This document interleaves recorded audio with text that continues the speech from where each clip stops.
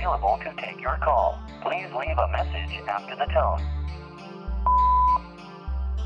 Good morning. I have a special delivery I need you to carry out. There's a guy in Vinewood wears a very nice red suit. Shaved part of his eyebrow. Very fashionable. You'll find him at a place called Galaxy.